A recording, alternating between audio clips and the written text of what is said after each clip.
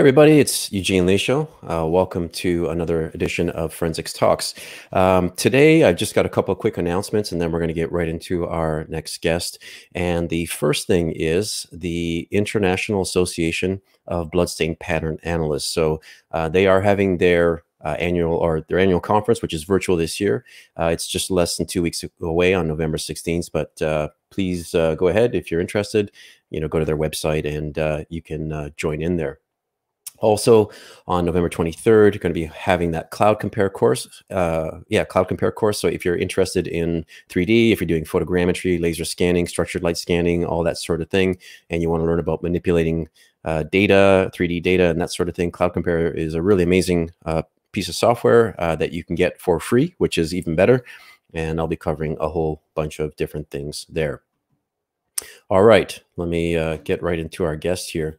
Um, first thing, uh, this is uh, Dr. James Goodrich, and uh, he has been a uh, an odontologist uh, since 1996. He graduated with a Bachelor of Dental Surgery from the University of Otago. In 2012, he was a fellow of the faculty faculty of oral and maxillofacial pathology at the Royal College of Pathologists of Australasia, and most recently he's gotten a certificate in global mental health, and that's something that I'm going to be talking and asking him about as well. He's had a private practice as a dental surgeon since 1996, and his main interests are forensic odontology. And so uh, he's been called upon before to uh, provide opinions about identification for deceased individuals, uh, age estimation, uh, uh, bite marks, and uh, you know he serves as an expert witness. All of that, which I which I want to ask him about, including some of the um, uh, situations that he's worked in, including the disaster victim identification for the Canterbury earthquake in 2011, the Christchurch mosque shootings, and the Whakaari White Island volcano eruption. And he has a very extensive CV, and I'm not going to continue because I'll be here all day. So I'll just invite him in. So, hey, Jim, how you doing? Morning, Eugene. How are you? I'm great. Thank you very much. Well, uh, yeah, it's it's fantastic. You can join us. You're on the other side of the world, but it's actually Friday morning your time, so it's uh it's an early morning for you there. So I appreciate it. Um, I think the first thing that I wanted to just ask you about is how you got started with dentistry and what what was it that piqued your interest about the, the this particular area. Yeah, uh, I, it's a it's a long and, and not particularly uh, interesting story. Uh, I was always going to be a, a, a, doctor. I was always going to be a surgeon. Um, and my uncle, who was exactly that, um, uh, over a few years of talking to me about it, essentially put me off. Um, he was struggling with his lifestyle. He was struggling with balance and things. And um, you know, at 17, 18, 19, I, I, I, really had to listen to somebody who'd been doing that for 20 something odd years. And um, uh, I asked around, and my dentist was really the only healthcare professional that, that said that he would have done it again. Um, oh, really? You know, he had a little bit of time off and he wasn't on call, and it sounded good. Um, I've always wanted to do things with my hands. I was, always enjoyed puzzles and fixing stuff, you know. Um, yeah. And so that's that's really how I, I got into it. And um, I didn't avoid the, the on call. I didn't avoid the the problems with lifestyle balance, but but here we yeah. are. Yeah, for sure. And then when did you migrate over to the forensic odontology part? So the, the very first time I was exposed to uh, anything to do with forensic odontology was a, a, lecture that I had, and I think it was my final year of dental school. Um, uh, the great Professor Jules Kieser was a, a, a relatively new uh, addition to the staff at the University of Otago School of Dentistry at that stage, and um, he's a, a, he was a giant. He's recently passed away, sadly, but he was he is a giant in the field, and uh, he he freely spoke to us about some of his experiences on on large scale disaster victim identifications, and I, I was fascinated by it. Um, after that, upon graduation, I, I, actually worked in a in a large base hospital here. And one of uh, you know one morning, um, they asked for some dentists to come and help with a, a, an identification of a, a, car crash that the, the, individuals had, had passed away, and and they were severely burned, um, so they required the dental identification. And somehow we bimbled through it. Um, I, I, shudder to think of the quality of the, the reporting and things at that stage. But um, after that, I, I was determined to know a little bit more about it and, and, and become competent. Um, and and since then, I've uh, I've been very very fortunate to be mentored by some very very very uh, good people in the field who are very generous with their time. Um, little shout out to Zaf Kuri there. Um, he's, yeah. he's the best in the business, and um, I've worked with him for 20 years now. All right, excellent. very fortunate. So um, I want to I want to ask you about teeth because we're going to be talking about dentition and teeth, and you guys work with mouths and teeth a lot. So, um, what is it about the teeth that makes them so resilient? And so, I had a little graphic here. I was looking, and so, I mean, they're hard. They're probably are they? I'm assuming they're the hardest substance that the body makes. Is that true? Well, the enamel certainly is. Um, as you can see there, there are multiple uh, tissue structures associated with a tooth, and the the uh, the topmost structure there is the enamel, and I'm told that's actually the hardest uh, material produced in the animal kingdom is human dental enamel. Um, it's resistant to abrasion, it's resistant to, to breakage, but it's also resistant to, to high temperatures. Um, it doesn't. I mean, we we see teeth out of two, three, four thousand year old graves that are, you know, as good as they had been there for six months. Um, yeah. And it's their substantivity, it's their durability that that gives us an advantage oftentimes if, if we're looking at uh, you know very decomposed remains or, or, remains that have been subject to, to thermal forces. Um, you know they, they tend to stick around. Yeah. Yeah, so so fire and and all those things, yeah, and imagine even things like acid and stuff. It, it, you really got to, yeah, yeah, you've got to have a sustained exposure to to acid to to destroy a tooth. Break you know, it down. Contrary to popular belief, a, yeah, a, yeah. a glass of Coca Cola won't do the trick. yeah, I know, but that's not what my mom used to tell me. So I don't know. right. Yeah. Um, in terms of nomenclature, now I've, I've and again, I, I got to full disclosure i'm i have very little dentistry experience or whatever but it is it is somewhat interesting to me.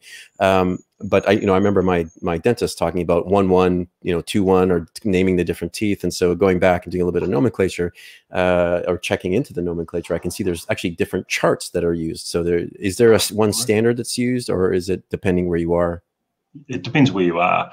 Um, in New Zealand, we use FDI. In Canada, you use F FDI, and that was the the uh, nomenclature you were talking about there. Um, tooth one one, tooth two one. Um, if you're in the US, they use the universal system. Um, they're the only people that use the universal system, um, so that would be tooth eight and nine. Um, there are variations around the world. There are uh, evolutions over time. certain militaries use different uh, different systems as well. Mm-hmm. Um, I've been exposed to the uh, the U.S. Navy system, um, which is the universal system, but the lower jaw is flipped. Um, so you can imagine, but with the different systems using similar numbers and similar sounding uh, terms for teeth, there is definitely room for confusion, um, and that's one of the genuine issues when we're when we're working internationally with with folks from different parts of the world. We need to speak the same language with teeth. Um, yeah, uh, don't. Yeah, I can imagine how that can get very confusing. Uh, even uh, mis, you know, mis, miscounting one tooth uh, probably wouldn't be all that difficult to do. Um, Hundred percent. So, forensic odontology, um, with respect to the kinds of activities that you work on, uh, human identification is probably the largest one, and um, you know people that are in the field probably know that but a lot of people for example bite mark analysis often gets a lot more exposure or whatever. So um, what can you tell me about the activities that are done by a forensic odontologist? Right. So you're right. Our, our for want of a better term bread and butter would be individual human identification. You know we the uh, police or coronial services require us to, to aid them in an identification for a usually a believed to be individual um, and for whatever reason, they're not reliably uh, visually identifiable. And I've, I've got some pretty strong thoughts around that as well, as you know. Um, but they'll, they'll call us and we'll we'll turn up and we'll examine the remain, the human remains. We'll examine the deceased and gain all the evidence we can um, in that in that in clinical environment, and then we will compare that to the antemortem records, the records that are, are, from the believed to be individual that have been produced as a product of their uh, their dental experience over time. Uh, hopefully there are radiographs, hopefully there are uh, photographs, um, but sometimes it's just a chart that we're managing. Um, and then we reconcile the, the two pieces of evidence and, and determine whether we have confidence that they're from one and the same individual or not. Um, as far as bite marks go, yeah, yeah. Uh, famously, there's been some some problems with bite marks, um, mm-hmm. and uh, there's there's lots of good reasons why there's problems with bite marks as well. Um, and if you've got an hour on that, I'm happy to speak to yeah, you about well, that well. well. we'll see. We we've got an hour for everything, and there's there's a lot of questions to that. But I, yeah. I think we'll, we'll we'll touch on it. We'll touch on the bite mark stuff in a little bit. Um, but one of the uh, in terms of the process of the, the identification. So, I mean, there's uh, antemortem, postmortem, and and uh, you know, looking at records and that sort of thing. Um, but could you could you sort of walk me through, you know, what it, how, for example, maybe it's happened with you before in, in, some of the cases that you've worked on, where you know you're approached by somebody to come and assist, and then what the the typical process might be. Okay, so uh, we work in New Zealand. We work in, in teams and we work in regions. Um, working in teams is, is relatively unusual worldwide. Uh, the minimum unit of odontology in New Zealand is two odontologists. Um, so we don't do anything uh, by ourselves. And, and that's, uh, there's a couple of reasons for that. And, and one of them is that if you're working by yourself, it's very easy to, to start on a premise that's, that's false and then continue to, to, to jackpot that mistake. Um, and if you're working as a team, it's very very easy for someone else, another pair of eyes, just to say, hey, you know, I think that's that's upside down, or maybe that's backwards, or or maybe that isn't that tooth, or maybe you're looking at a different. And you can talk about it and and, and reconcile that as you go. So I just like to emphasize that the team approach here, and it's it's critical to to not only uh, um, any success that we might have, but also to to frankly my enjoyment of the uh, of the process. You know, working in small teams um, aids not only your, your your your ability, your efficiency, but also your your mental health in many ways. Um, so uh, I'll get a get a call from from the organisers, and I'll be asked to attend a, a, a post mortem examination. Typically, we have a few hours notice. Uh, sometimes it's the next day, sometimes it's that day um, that we're required. Um, occasionally, we're required to recover remains from a scene, uh, but that is that's that's less standard. Um, so we'll present to the mortuary. Um, the police uh, will have uh, done their property uh, part of it by then. Depending on the nature of the remains, the the medical post-mortem may or may not have been carried out. Um, and we, we work with the pathology teams to to fit in with them as much as we can. Um, they have the the priority, of course, in a, in a suspicious death uh, situation. Um, and and exactly as, as I said earlier on, we'll take a, a full mouth set of X-rays, full mouth set of radiographs, a full mouth set of uh, photographs. Uh, we specifically photograph any restoration or abnormality or uh, something that might be slightly distinctive or unusual. Um, we do a full mouth charting just as though we were doing that for a, a new patient in a dental surgery. Um, very detailed. We, we generally get one shot at this examination, so we want to make sure we get all of the information we can. Um, we document all of that. Uh, the, these days, that's that's largely digital. And uh, once we've once we've got that information, we uh, will then compare that to the ante-mortem information that, that we've been gathering with the assistance of the police over that over that period of time. And uh, sometimes ante-mortem uh, information is is a little sparse. Uh, other times it's it's very very good, and sometimes it, it turns up at different times. So that's uh, you know the the old trap used to be that uh, you know if you only had a an X-ray of a of a single tooth, then that was you know to compare to, then that was the only X-ray you took in the mortuary. Mm. But yeah, that's uh, that's something we, we try and avoid these days. We do a full examination for every right. every individual. Sometimes there's a lot of reconstruction involved. You know, if we've got a deceased individual that's been uh, burned or or uh, uh sometimes we have uh, post-mortem predation, um, pigs, what have you, uh, or sometimes gunshot wounds require a lot of reconstruction of the remains before we can start the examination. Um, so it can be very, very time consuming. Uh, probably the, the shortest examination would be maybe 90 minutes. No, really? Okay. Uh, yeah. we certainly who, had cases that lasted days. Who are the people that actually will go out and start? Because you, you got to you have to recover all of the old records, right? Like somebody's got to go out. So who does who does that? And how? I mean, you call around. You you maybe you have some people that are missing. So you ask the families. Like what? How does that work? Yeah, there's meant to be a, a, a, very firm system in place, but oftentimes it's a little ad hoc. Mm. Uh, the police uh, have the main responsibility, but of course they don't necessarily have the contacts that we do. So if we find out who the dentist may have been um, from a family member, then sometimes we'll directly be in touch with them. Uh, but the New Zealand Dental Association has a uh, obviously access to all of our uh, contact details, and we'll get a, a blast email. Um, you know, attention. You know, do you have records for this individual, and if so, please get in touch. Um, we, we need to be a little bit careful around that. You know, if, if we keep sending those out all over the country, you know, twice a week, there's going to be fatigue. We do want people to check their records properly. Um, so we we generally try and target the area that we think that the believed to be was from. Okay, uh, I have a form up on this. Oh, sorry. I was just going to say. Sorry.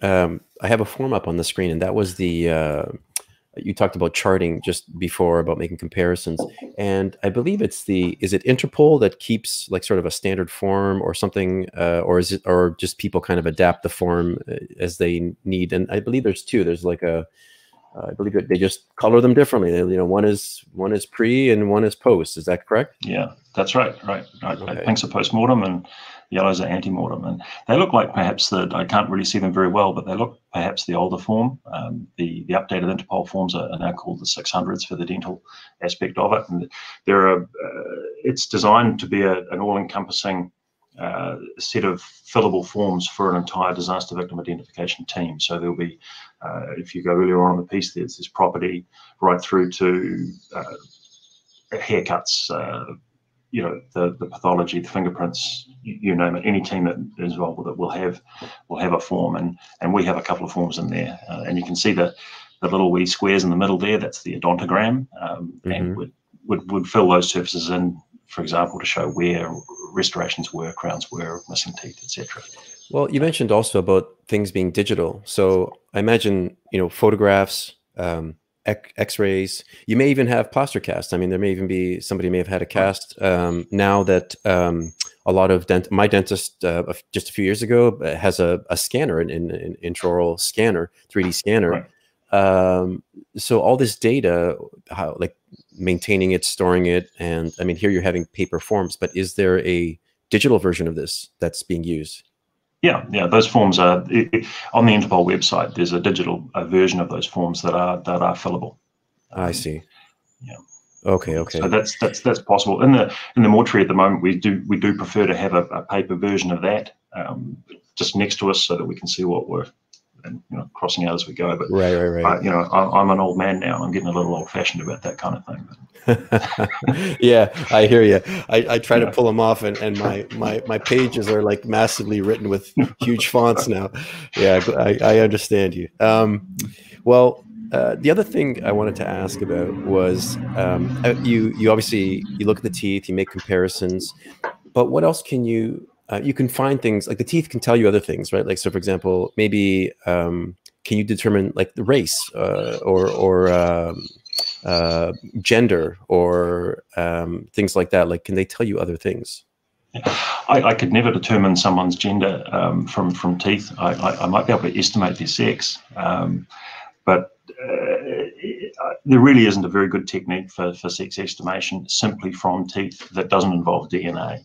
Um, there's research in the area at the moment. Um, there's been some uh, some glimmers of hope around, believe it or not, the thickness of the enamel layer on canines. Um, but most techniques that I'm aware of at the moment are, are not much better than guess. Um, there's a lot of crossover between the sexes and the dentition.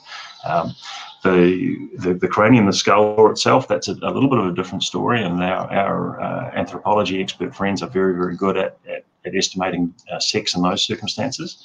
But as far as teeth go, um, we're not particularly good at it. Uh, one of the things we can do from teeth, though, um, and we can do this nearly in every phase of life now, is that we can apply radiographic techniques or other techniques, and we can estimate age, um, age of death of that individual, and that that's that's pretty exciting stuff. Um, Roberto Cameriere uh, around about 2004. He's an Italian researcher. He does a lot of a lot of ongoing research um, in dental age estimation, and he was one of the first people to turn up with a uh, an adult age estimation technique that, that was applicable and, and, and, and good enough to be used.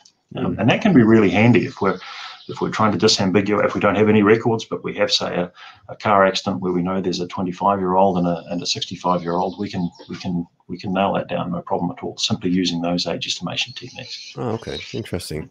Um, can you explain to me what is meant by uh, post-mortem dental profiling or like reconstructive dental identification? Are those terms that are used? Is that just part of the? Is, yeah. Yeah, not not really. I mean, I, I think that that really is just putting the the, the picture together after uh, someone yeah, okay. passed away. Yeah. Interesting. Um, so other things that well let, let's talk about bite mark analysis we have to cross that bridge anyway i don't want to spend a lot of time on it but um, as you said before uh, there have been a lot of cases um, both good and bad, uh, but unfortunately, the bad has often outweighed the good. And um, I remember talking to Dr. David Sweet from the University of, of, British Columbia, and he sort of said it to me once, and it just it always stuck with me to this day. And that was um, he said you know, way back, uh, the forensic odontologists thought that they had it all figured out, and we we were thought we were doing really well and everything else. And then all of a sudden, there were all these cases that started hitting, especially with bite mark analysis, where it was like, oh boy, you know, this is there's been a, a grave miscarriage of justice here, and then it happened again and again, over and over. So, um, most of the forensic odontologists that I know today are probably the most uh, they're they're their own worst critics when it comes to bite mark analysis and, so. Yeah, I'll, i think most of them are. Most of the ones that I have uh, come across anyway. Um, but I, I, know a lot of people brush it off. But I, I feel like bite mark analysis has value. I feel like it, it, still has a lot of strong value in many cases. And so, yeah. So what's uh, yeah. So maybe uh, if you can give just well, I'll, I'll start by saying that, that, that, Dr. David Sweet it wouldn't would probably be not only the nicest but one of the most brilliant odontologists that I've ever met. Um, one of the loveliest men in the in, in the business. And uh, if if he's if he's listening, hello, David. Um, look, bite marks. Uh, I, I, think the progression of the problem is that we are very very good at uh, individual identification. We don't get that wrong um, when we're called to do that. If we give, if we have enough evidence to give an opinion, um, you can, you can bank on it. It's a primary identifier. It's as as far as individual identification goes, it's as good as fingerprints and it's as good as DNA if we have the evidence. And I'll, I'll argue that with anyone. Um, we, and I think there was a tendency to conflate our ability in one area of what we do, and remember that's the majority of what we do, with ability to do other aspects of what we're called to do. And you know, it was um, probably the Ted Bundy case was the the first very famous bite mark um, uh, prosecution or prosecution based largely on bite marks. And the people involved with that uh, became famous. Um, they became sought after as bite mark experts. And there's a there's a real tendency to wish to behave as that expert, if you see what I mean, and to be as useful as you can. Um, and over time, unfortunately, practitioners uh, drew conclusions from uh, patent injuries and for comparison between those uh, patent injuries and the dentitions of suspected biters, they, they drew conclusions that just weren't scientifically supportable. Um, the issue really can be divided into, into two categories. Number one, human dentition is pretty much the same person to person. I mean, at a, at a microscopic scale, we are unique, but largely everyone's got the similar sort of. Well, I, I want to ask you about that because mm. I, I think most people, and, and even myself, when you just sort of think about it, when you take the the dentition on the whole, you would think that it is unique. I mean, if you think about the the the size, the distribution, the location, the rotation, the the position of all the different teeth relative to one another, I can't. Eh, well, I shouldn't say I can't. I couldn't. I can't imagine in in a population of billions of people there could be a couple of people that have similar teeth. But the fact that identical, I, I would have a very difficult time with that. But I guess I guess the question though is, are they are they similar enough that they would be difficult to distinguish? Right, right. And uh, you know, if you give me a, a 3D scan of someone's mouth, then yeah, I'll be able to disambiguate that individual with any other individual, almost certainly. Um, but we don't have a 3D scan. We've got a, a patent injury on a victim or a, or a suspected patent uh, victim. It may or may not be a bite. Um, and the human skin is a very, very poor recording medium. It's a very poor impression material. And oftentimes we're not looking at an impression of the teeth on skin we're looking at the, the wound reaction, the bruising, the tissue reaction to that trauma. So there's a disconnect there as well. Yeah. Um, human skin, human tissues, they, they move, they distort, they bend. Um, it's a very poor recording medium. And, you know, we see people uh, who do research, wonderful research on, on the, the minutiae of the, the, the 3D uh, nature of the human dentition. Um, and if the other side of the equation is a is a really crappy impression on human skin, it doesn't matter how good your other techniques are. That's right. going to be your accuracy limiting factor. Yeah, that um, makes that makes total sense. If the quality yeah. of evidence that you're given is crappy, then you know it's right. very difficult to make a good right. comparison. No, that makes a so, lot of sense. so bite marks in things like, say, cheese, um, excellent. Chocolate, excellent. Uh, there are other recording media that, that we can have very high degree of confidence with, but human skin is where we fall down. Human dentition's another one. Um, at the moment, we're working up a, a dog bite case, um, and the, the premise of that is that there's a, a closed population. Um, these dogs are quite different. Um, dogs' teeth, they puncture. So we do have more accurate impressions, if you like, of where the, the, the teeth were, mm-hmm. um, and that increases our confidence. So I agree with you. I think bite mark analysis and bite mark work has its value, um, but we need to not say any more than what we know. Yeah, very um, interesting. Um, inter- uh, sorry. Yeah, no, I, was just going to say, well, like you were saying, it, it is very good. In fact, uh, I believe uh, in in the world or in, in Interpol at least says DNA latent prints and bite marks those three things are reliable sources of that you can use for identification in fact probably the only three no i'll, I'll correct you there um, dna uh, fingerprints and and odontology not what bite did I say? Uh, I'm sorry. Yeah, using bite marks, right? Excuse so, me. I was but yeah, you're right. You're right. It, it is a it is a primary identifier. Um, the with with bite marks, you know, the the problem we've got is that uh, people who were successful without knowing that they were wrong, if you know what I mean, continued to to claim that expertise and continued to be able to do things that no other no other people could. Um, whenever I've got a bite mark analysis or a bite mark comparison, if if you can't see what I'm trying to show you uh, that is obvious, then it's not there. You know, it, we don't have special eyes.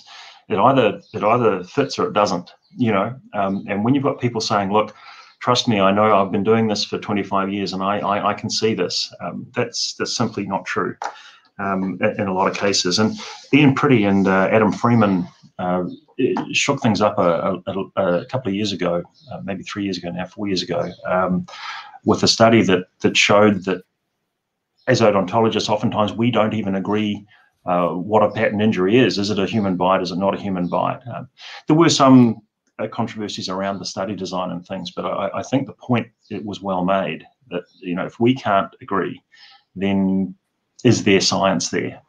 Uh, yeah, you know, and once again, it comes down to the the spectrum of evidential value of a patent injury, right from a, a diffuse bruise right through to a, a, a, beautiful impression of a, a, full arch of teeth opposed against another full arch of teeth with nice variations and and you know missing teeth and distinctive features you know and the problem is we generally get evidence on the on the the former side of that scale yeah, yeah. interesting well i want to ask you um, uh, we're doing pretty good for time, but I want to ask you about some of the cases you worked on. Then I want to ask you about some of the areas of interest that you have. And uh, and before I forget, Dr. David Sweet sent me this a while back. Um, so nice. he was very kind. He sent me some. This is a long time ago, but yeah, uh, David, if you're listening, thank you very much. Um, I still have nightmares about that thing. Yeah, yeah. Actually, did you? Uh, a side note, but you, you got me thinking about it now. There was somebody in. I thought it was in Texas that they were doing some research on bite mark, and they created this. It's like a hydraulic machine and right. the, the poor participants had to stick their arm in this machine and this thing would clamp down on them and every yeah. curse word you could imagine would would come out, right.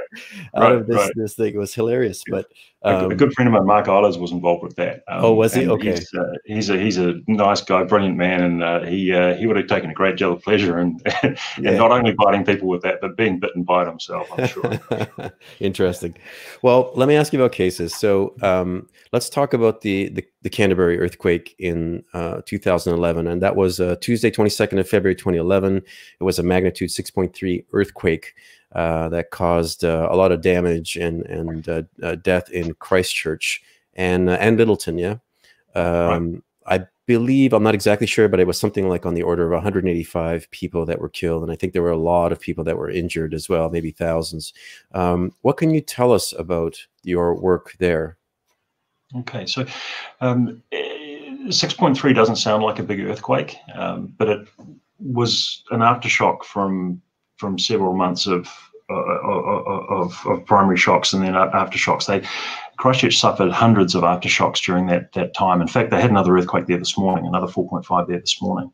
And while 6.3 doesn't sound a lot, um, Christchurch is based on um, a, a, shingle substrate with with mud and things, and it was the uh, the ground acceleration uh, was the issue, and it was one of the the fastest ground accelerations that had been recorded. So it was a, a not a very heavy jolt, but it was a fast jolt, and unfortunately, um, things may well have been weakened by prior uh, prior shocks. Uh, and that, on the 22nd of February, we lost uh, a, a, lot of building facades, brick buildings. Christchurch was a an older town in the scheme of things in New Zealand, um, and it was the the the loss of facades of brick buildings, but also uh, one or two buildings caught fire, um, and people were, were, were trapped. And and unfortunately, as you say, we we had 185 deceased. Um, so that was a, a major disaster victim identification response for us. Um, the determination from the powers that be was made early uh, that if, if if countries had deceased on the ground, then they would be allowed to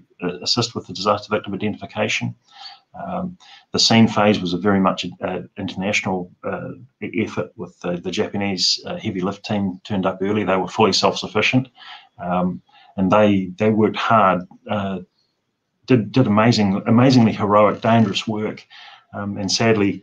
Uh, when we'd finished our disaster victim identification response, that Japanese team was sent straight to Fukushima, which happened um, a, a, couple of days after after we, we were wrapped up.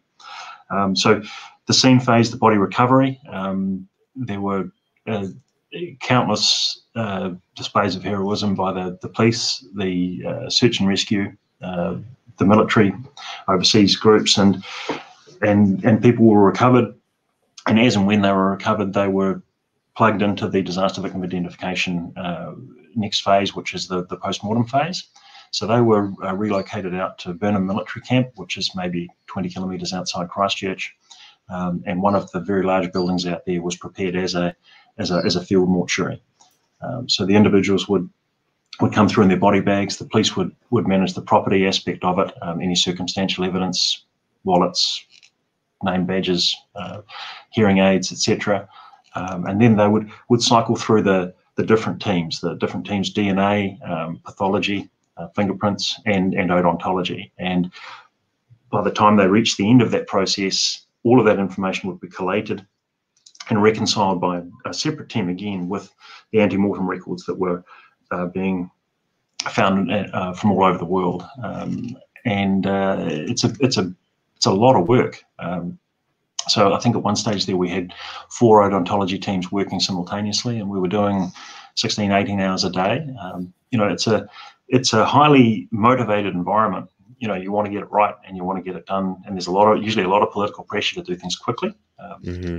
people want their loved ones back and politicians sometimes make promises that are a little unrealistic um, and that pressure always comes back to to the police and to the dvi teams um, of course, it's a very regulated environment. There's there's things you cannot do in a mortuary. There's things that you can't uh, do or say. You know, you certainly shouldn't be, uh, for example, taking your own photographs or anything, you know, appalling like that. Um, mm-hmm and uh, having said that, though, it's um, it, it, sounds a little macabre, but it's it's one of the most satisfying things that I professionally had anything to do with. Uh, you do very definitely feel like you've helped.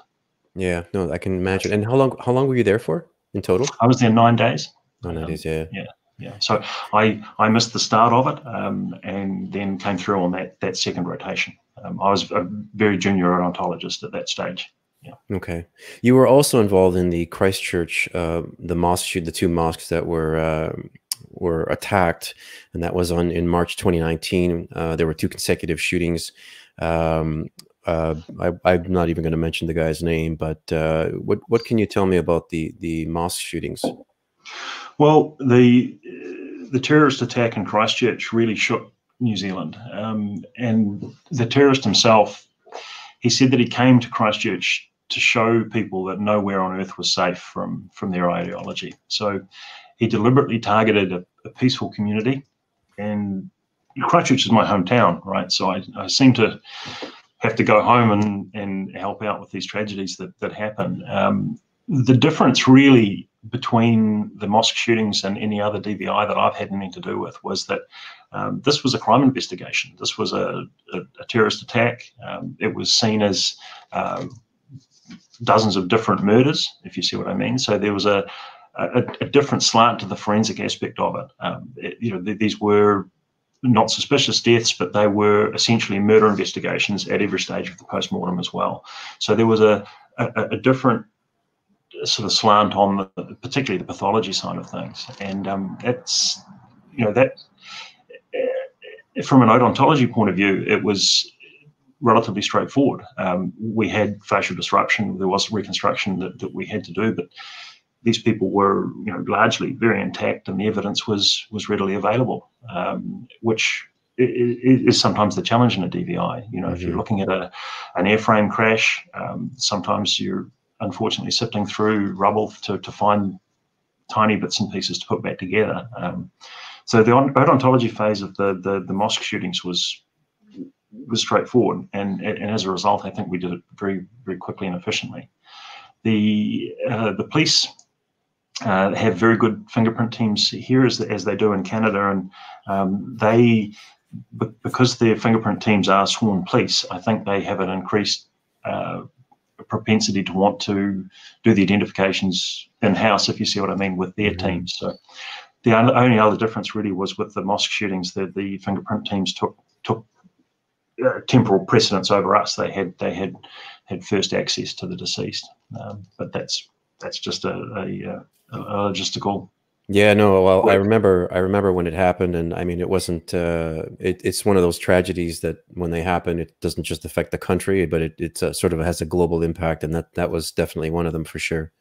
Um, right. The last one I wanted to ask you about, or maybe not, maybe the second last one, we'll see. But uh, the Whakaari um, White Island volcano, uh, that was a volcano that erupted uh, on the uh, in 9th of December 2019, and uh, it's I guess it's a it's a tourist location where people go and, and visit, and uh, people knew that it is an active volcano, right? Yeah, right. and okay, and so um, yeah, it just it happened. I think it was about just after 2 p.m on the 9th and it just went off and unfortunately there were people on the island when it did um, what uh, what can you tell me about that particular one I have to be a, a, little careful about discussion of Whakaari White Island. It's still uh, the subject of an active workplace um, uh, workplace safety or work safe investigation, a little bit like your OSHA. Um, so there are things I, I can't say, but uh, one of the, the real lessons learned from that was that these these individuals who uh, were killed on the island um, were unfortunately uh, contaminated by with a variety of different substances, um, uh, sulfuric acids, um, cyanide compounds, etc. So the our uh, fire and safety hazmat teams um, turned up very early on in the piece. They had seen primacy, and they were they were in charge, and they stopped the whole show uh, after detecting these um, these volatile and, and, toxic compounds on these individuals. So that was another complicating factor. They had to be decontaminated prior to the, the disaster victim identification uh, process. And what I will say is that the recovery effect, uh, uh, on, on, of the deceased on that island is, is some of the bravest stories that I've ever heard. Um, just extraordinary. Yeah, um, it's very easy for us. We're sitting back another 200 miles or so from the from the scene, but you know these people were turning up, and I was I was blown away with the efforts that people had made on the ground to get these people off. Yeah, for sure.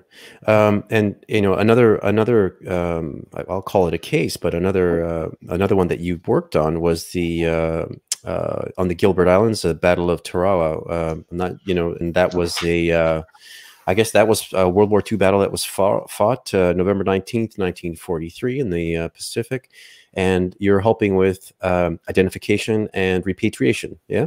Right. Right. Okay. Yeah. And, and that was a real honor. It, it was a case of just being, uh, you know, on the right spot at the right time and being available. Um, uh, my my good friends Corinne Danjou, who's a, a Quebecois uh, dentist and forensic odontologist extraordinaire, and uh, Dr. David Senn, who uh, you know, literally wrote the wrote the book on forensic odontology. Um, they were engaged by a, a, a, private entity by the name of uh, History Flight, uh, which is founded and run by Mr. Mark Noah, and they have a, a stated mission to uh, find, recover, identify, and repatriate um, any service personnel from from from US combat history. So one of the theatres is Pacific Theatre, um, as you say, in, in, in, Kiribati. They also work in Europe, uh, other countries in Asia, and they do wonderful work. They have uh, teams of historians who look at records where, for example, planes may have gone down or or battles may have occurred, um, and they will look at uh, modern satellite photography. They have geophysics teams. They have uh, anthropologists, pathologists, um, archaeologists, and, and and one or two odontologists as well. And um, it was just just very very uh, humbling to be part of that. Um, as a as a Kiwi, um, you know, we had we had coast watchers that were killed by the Japanese on that island. Um, so there was a there was a tie up with with New Zealand and the the, the Marine Division that that uh, hit and took Tarawa um, had just been furloughed in New Zealand. So they were the they were the guys that we had experience of, and they married all our women after the uh, after the mm-hmm. war, and it was just an honour to be part of that. You know? Yeah, for sure. And that's I, I, wanted to cover those because they they are quite different. I mean, there's two that which are disasters, and you know, one is sort of an attack, and you know, one is uh, you know repatriating uh, you know from an, a very historical event. Um, mm. But in the case of where you're working with um, disaster victims or even the attack victims, um, well, I, I'm, I'm, I'm was going to ask, you know, dentists, most dentists are dentists first, and, you know, then they get subjected to and exposed to some of these really uh, awful situations. So um, I want to ask you about mental health and the state of some of these people after working like that. You know, if you're, if you're a pathologist and, uh, you know, and you're doing this sort of every day or whatever, not to say that it can't affect you, it, it certainly can but I, I, think it might be worse when you know you you are not exposed to it on a regular basis and then all of a sudden you're hit with a, a massive disaster and what can that do to somebody? Yeah I, I, agree. It's a it's a particular area of concern of mine. I think our our mental health support uh, perhaps has been a little lacking in the past as well. And you know much like the canadian folks uh, kiwis we're we're programmed just to get on with things and we you know mustn't grumble um, you know, just just suck it up and and turn up the next day. And we've got to do better than that. You know, I we lose colleagues to to burnout uh, in the forensic field, um, and sometimes worse. Um, and you know, there are little things that we can do to to decompress this. And the, the, the, team approach that we take on a day to day basis here helps a lot. Um, I'm, I'm very fortunate to work with friends rather than colleagues. Um, so we can discuss these things. But um, you're absolutely right. Uh, we are not prepared for it. We're not trained for it, um, and oftentimes we're not supported. And after a, a, a large scale disaster event identification, we do have some access to uh, police funded um, psychological support, but it's it's it's not enough. Um, and and I think we need to to really address that and, and understand that it it is a problem. And I think once we've done that, we can we can perhaps move forward a little bit. You well, know? you and you actually, I, I mean, you did uh, the the some of the studies you did at the Harvard Medical School on the uh, certificate in global mental health. Um, was was that because of exactly what we're talking about, or is, is you looking to? Is it like a support system? You're help, you know, wanting to help other other odontologists as well. Yeah, well, I, I, I felt I needed to legitimize uh, myself a little bit by getting uh, some training in that area before I started, you know, really, really trying to push for for change around here. Um, you know, it's interesting that you, you, mentioned that that some people are are okay in those environments because they see it all the time. Um, I, I, just remember that when we were in Christchurch for the earthquake, uh, the police embedded uh, psychologists in the mortuary with us, so they were walking around asking us how we were doing. Um, I don't think they lasted a full day um, because they they were unfortunately they were the ones that were really out of their out of their comfort zone. So yeah, yeah right, I'm not surprised. Um, so there's this sometimes there's this disconnect between management trying to do the right thing and and and the right thing being done. And uh, yeah, I, I wanted to get a little bit more uh, understanding of of resilience of recovery. Um, it's one thing being exposed to vicarious trauma, and it's one thing being traumatized, but we need to to work out how we can manage that and and move on and still be functional and um, and and still contribute.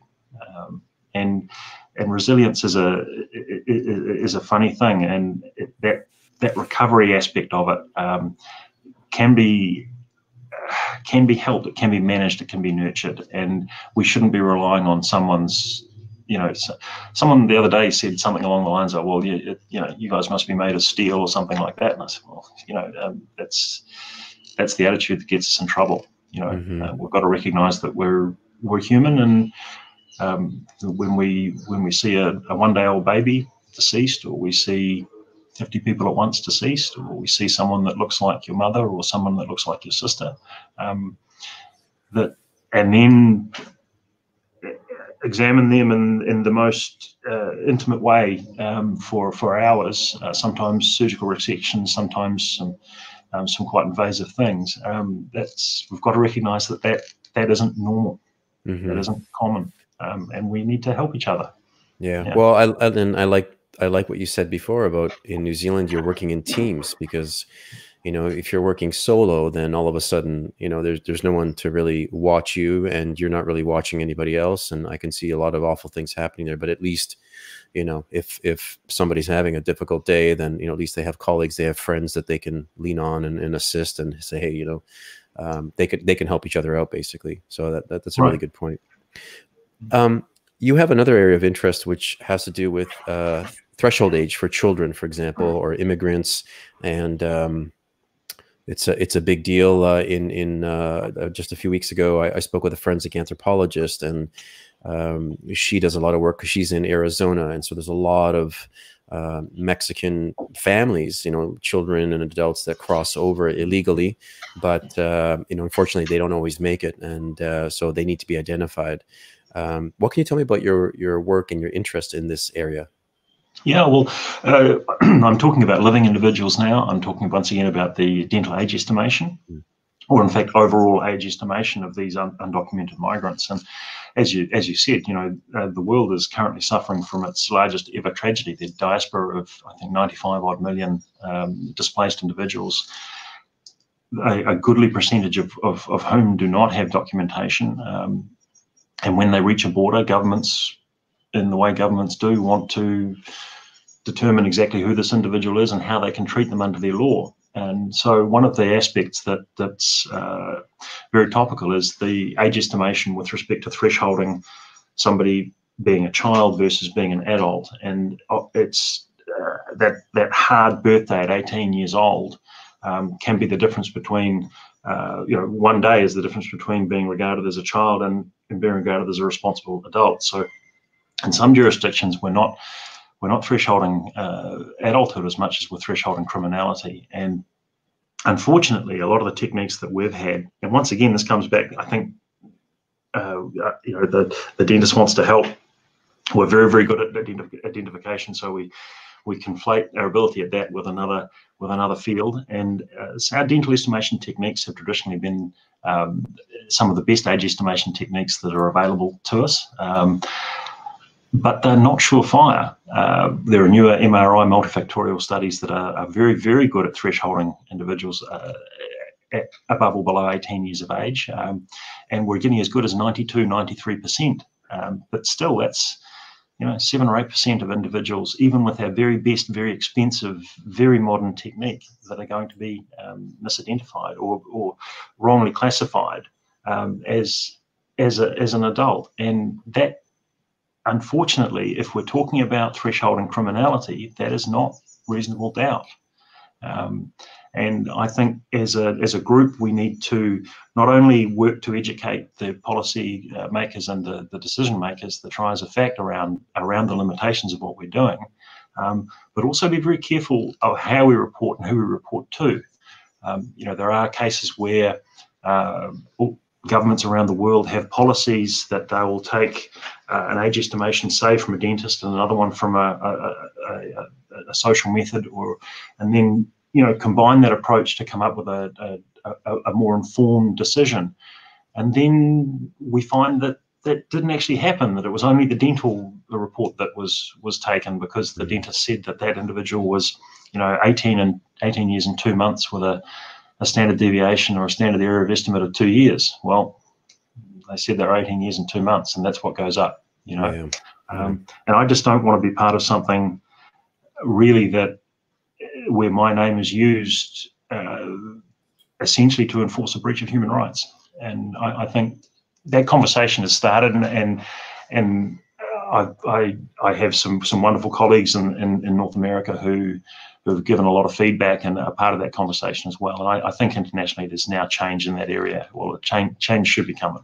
Interesting. Well, and maybe you know my my I wanted actually this to lead into, and maybe this is a good segue into research in areas that need to be developed. And I don't know if there are people currently working on this problem. Uh, I, I, imagine they are. That sounds like an important uh, uh, a body of work to be to, to be researching. Um, what what areas do you see right now um, are, let's say, for example, high priority research areas in forensic odontology? Yeah, well, we've got the, the human identification stuff pretty much pretty much down. You know, there are there are tweaks, there are improvements, there are techniques that we can use. Um, but you're right. It's uh, I, I, review for for a couple of journals, and the the papers we're getting now are are focused on things like, um, for example, uh, lip prints, uh, tongue prints uh, sex estimation from dentitions, but age estimation and bite marks really are the are the, the, the areas that that we are getting um, a lot of research.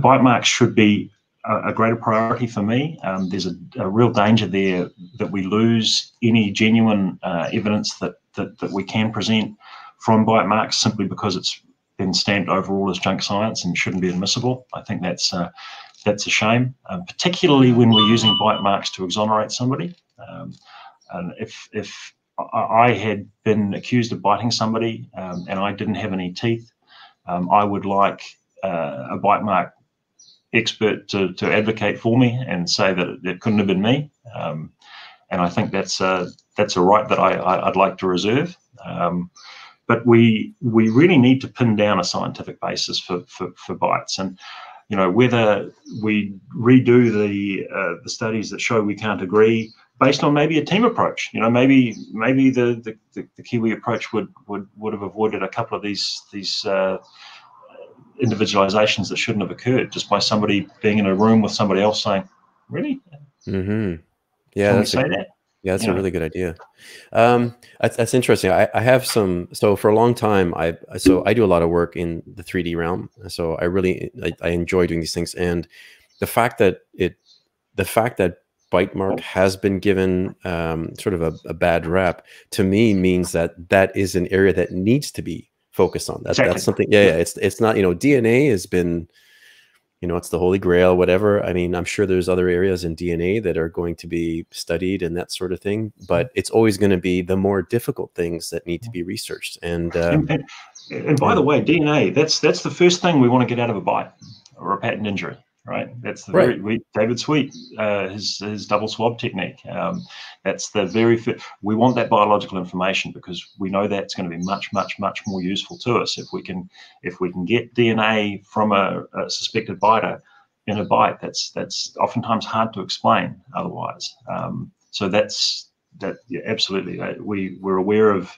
hopefully hopefully as a, as a group of people now we're aware of the limitations of bite mark work um, I do see some. I, I, do go to conferences around the world, and there are still some countries that are, are uh, haven't quite got that far yet. That they're mm-hmm. still happy to to individualize a, a, a, suspect on the basis of a partial bite mark or or a bite mark at all. Um, but most most modern uh, odontology societies or organisations, um, that's essentially not not a, uh, a conclusion we can draw anymore. You know, yeah. um, that's that's just not a sanctioned result.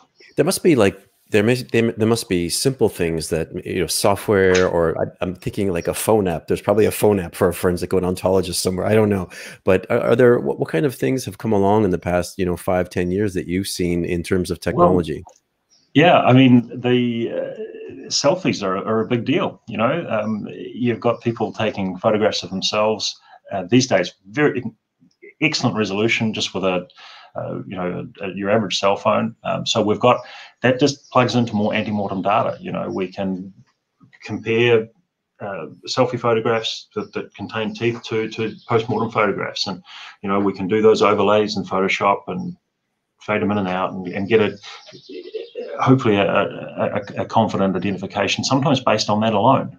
um, if if their dentition is distinctive enough and we have good enough uh, antemortem photography. So, you know, there's a there's a, a raft more antemortem material available to us these days than than was available even 20 years ago. You know, um, apart from that, uh, uh, you know, dentists are better at keeping records than we ever used to be um, for a whole variety of reasons. Um, but if we don't have good antemortem evidence, if we don't have anything to compare to, it doesn't matter how good our post-mortem skills are. Uh, we you know we're, we're, we're, in trouble so yeah yeah um, you're right there's i mean orthodontic scans orthodontic models uh, selfies you, you, you, name it um, and we're, we're getting that now with the disaster victim identification teams as well we're getting selfie photographs coming through uh, into the ante-mortem theatre so so take take more selfie, folks. Take more selfies, and just in case smile. something happens, smile. smile. Right, make sure you smile. what uh, what is next for you? I mean, what what kind of things do you have on the go? Or are there any areas that you're looking to pursue deeper or new things? Um, what's what's on the books for uh, Dr. Goodrich? Well, my ambition, Eugene, is always uh, simply to be reliable. Um, I, I, I, I, I want to be regarded as someone who uh, turns up and does the job and can give an opinion that you can you can trust. And whether if that opinion is mm, I don't know, um, then then that's good enough. Um, so I just want to keep working. Uh, I want to keep. I'm not a I'm not a big researcher, as you know. I, am a, a, functionary. Um, I, am I'm, I'm hands on. Um, and uh, I, I, think to answer your question, rather than dancing around it, my next my next thrust really has to be to do with mental health support for forensic odontologists in New Zealand. Um, and I'll, I've just started putting feelers out with the society and the, the powers that be around that. And um, we need expert help and we need funding uh, because people don't self-fund this kind of thing um, until it's way too late. Um, and the, the, the big problem is that everyone's just fine until they're not. And yeah. we need to preempt that, right? Yeah, that's very true. Well, I'll tell you what, um, that's it's been a very uh, a, a, great great input. Uh, some things I wasn't expecting, which is fantastic. Um, I if you can please hang back for a second because I have some ideas that I want to bounce off you before you go. so, and it have to do with the whole bite mark thing, and it's probably a, a good time to, to, to bounce off you. But look, I want to say thank you so much for your time. Um, great input. Uh, you know, really appreciate you taking some time on your on your Friday morning uh, to to spend with us. And yeah, all I can say is uh, it's it's been an absolute pleasure. Thank you so much. It's a joy to talk to you, Eugene. Thank you. Thank you. All right. Cheers. All right, everybody. Well, that uh, closes out this particular episode. And uh, next week, we're going to have Dr. Bill Lewinski, and we're going to be talking about uh, human factors in uh, police encounters with um, uh, with with the public. And of course, there's a lot of controversy over uh, some of the re more recent things that have happened in in the U.S. and abroad. And so, make sure you're there for that. Thursday at 2 p.m. Don't forget also the CloudCompare course is coming on November 23rd, and also the IABPA conference that is going to be on November 16th to 20th. Thank you very much, everyone. Have a wonderful day. Bye bye.